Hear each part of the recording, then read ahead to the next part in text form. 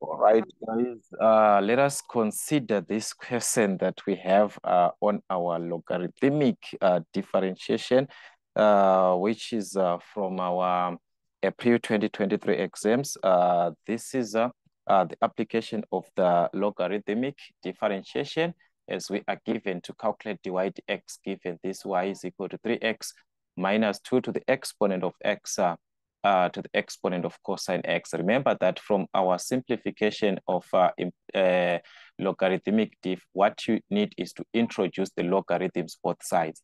So here we are going to introduce log, here we introduce the log. So it was supposed to be the log, which is the ln of y is equal to introduce a log, which is going to be the ln of uh, uh, 3x minus 2 to the exponent of x like this. Everything raised to the exponent of uh, cosine uh, 3x. This is what we're supposed to have in the first place. But the moment you apply or you introduce the logarithms, you are now back to the application or the laws of our logarithms, whereby we understand that m logarithm of n uh, is supposed to be taken as uh, the logarithm of n to the exponent of n. If it is m ln of n, which is the same thing as our logarithm, it is going to be n to the exponent of m. So if I am given an exponent like this, I'm going to multiply that exponent to the ln. So that is what we have. We have got an exponent here. So we're going to multiply this to the ln of our expression. So that means from this law, we are going to have the ln of y is equal to uh, the cosine of uh, 3x multiplied to the ln of uh, 3x minus 2 to the exponent of uh, x in this case. All right, so that was the whole idea of our logarithms. So once you have got this part, you have separated, you have the ln on this side of y and uh, this part you have simplified, you are going to determine the derivative with respect to x. But knowing that here there is a ln, you're supposed to determine there's a ln of y here. Remember what I said, whenever you are dealing with a function of y and you are supposed to determine the derivative with respect to x because our question is to find the derivative with respect to x, you are going to determine the derivative of that function of y, then whatever that you get, you multiply by dy dx. So you determine the derivative of the function of y times dy dx. That is what we have on ln. So the derivative here of, of uh, y is going to be, uh, of ln y is going to be 1 over y in this case, multiplied to dy dx, just uh, the concept of our implicit function. All right, then on the other hand, we are supposed to differentiate. As we can see, this, it's a function of x, and also here we've got a function of x. So there's no application of this first derivative and we multiply by dy dx because already it's with respect to x. But these two functions, since they contain x and x, meaning to say it's a product because we are multiplying. So we've got u and v, and we understand from our product rule that we are going to apply our formula as u, first derivative of v, plus v, the first derivative of u. So which means our u in this case, which is the cosine of 3x. So we are going to have uh, the cosine of 3x in this case multiplied to the first derivative of v, which is uh, this is our v, this whole part of ln. We are differentiating a ln. All right, let's go back to our ln, guys. We said the derivative with respect to x of a ln f of x in this case is going to give us what? The first derivative of that f of x over f of x in this case. That is the derivative that we obtain from what? A ln. But as we check on our first derivative here, meaning to say we are going to multiply with the derivative that we are going to get here, which is the derivative of our f of x. This is our f of x in this ln. So its derivative, we are going to obtain 3 minus the derivative of 2 to the exponent of x. Remember that the derivative uh, with respect to x of a to the exponent of f of x gives us the first derivative of f of x times a to the exponent of f of x times the ln of a, which is the ln of what? The base. So this one is going to be the first, this or f of x. So the derivative of x there is a one. So it's, there's a one there, it's not gonna affect us, but we are going to have two to the exponent of x times the ln of the base, which is the ln of this number two.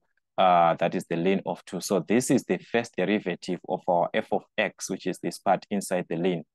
But whatever that we get, we are supposed to divide it toward to our f of x, which is the function as it is, which is 3x uh, minus 2 to the exponent of x like this. This is what we're supposed to obtain from our ln in this case, all right?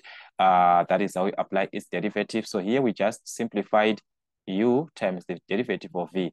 We move on to v in this case. So it's going to be plus v, our v in this case, that's the wall of this part, which is uh, the ln of uh, 3x minus 2 to the exponent of x times the first derivative of v, which is uh, our v, its cos. So remember, if you differentiate a cos, it changes to a sine. But having the 3 affecting this part, so it's going to be a negative 3 uh, sine of 3x, that it changes to a negative sign in this case. All right, so this is the whole part. sorry for that. So this is the whole simplification part that you're going to have. But on our simplification part now, what we need is to find dy dx. So you can simplify this other end, but as we can see, we are supposed to remove uh, this part here. We are supposed to remove the 1 over y that we have. But before that, just try to simplify on the right-hand side uh, part in this case. So let us just try to, all right, simplify the right-hand side and see what you're supposed to have at the end. So that is going to be 1 over y in this case times uh, dy dx is equal to, this is the cosine of 3x over 1 like this. All right. So like I said, here there's a 1 also. So 1 times this part is just going to be a single term. So you multiply cos times this whole part. So it's just like uh, the whole bracket multiplied by cos. So you can just write it as cosine of 3x into the bracket of 3 minus this 1 here. It's just the same. So you're going to have 2 to the exponent of x uh, ln of 2 in this case, all right? So this is our bracket. Everything over 1 is going to multiply this part of the denominator here. So it's 1 times uh, 3x, which is going to give us uh, 3x. 1 times this part of minus 2x is going to be minus 2 to the exponent of x, or you can just even have it in bracket or just like that, all right? We do the same thing, we simplify here uh, we can take the negative part here, multiply it, we can start with a sign, all right? So it's negative times a positive, which is going to give us a negative 3 uh, sine of what? Sine of 3x in this case, multiplied to the ln of uh, 3x minus x uh, minus 2 to the exponent of x like this. All right, so this is the whole part that we are going to have at the end but as we can uh, see here in our simplification or on our simplification, we want to remove this y. So we can have this whole part multiplied by y in order for us to remove this y here. So we are going to multiply uh, this part by y so that we remain with uh, dy dx in this case. So the moment we multiply by y, we are going to have uh, dy dx, which is equal to this whole part now multiplied by this y that we have here. So meaning to say, here we are going to obtain y into the whole of the bracket. So this one, guys, is just a repetition, 3x uh, into 3 minus 2 to the exponent of x uh, linear 2, everything over this. So this one is just a repetition. All right, minus 3 uh, sine of 3x uh, into ln uh, 3x minus 2 to the exponent of x. So that's it. We have multiplied by y here. This is the y that we see. This was supposed to be our answer, but we can't leave this answer as it is because of uh, what we had before about this y. We were given this y, and it is us who played around that y again. So we have to take back the y that we are given before, that y is equal to this expression. So we're going to substitute back this expression as it is on our final answer in place of y here. So we are going to substitute that value or that expression for y that we are given. So therefore, our derivative of y with respect to x is going to be, remember y there was given as a 3x minus 2 to the exponent of x to the exponent of uh, cosine of 3x. So that's what I'm trying to say. You substitute in place of y, and this whole part is going to remain as it is, which is the cosine of 3x uh, into 3 minus, uh, 2 to the exponent of x ln of 2. So this one, these two are multiplying. You can even start by this. You, you remain with the cos at the end, all right? Everything over 3x minus 2 to the exponent of x minus this part as it is, that is the 3 sine 3x into the ln of uh, 3x minus 2 to the exponent of x. So this is the whole part that we are going to have at the end. As we can see that we are now having the derivative of y with respect to x. Our, all everything that we have is in terms of x, not to say our answer is going to be in terms of y. No, we are supposed to have our answer in terms, in terms, in terms of x. That is why we are supposed to substitute the the value of y that we are given before and have it now in terms of what? In terms of x. So these are the stages. Introduce your logarithms.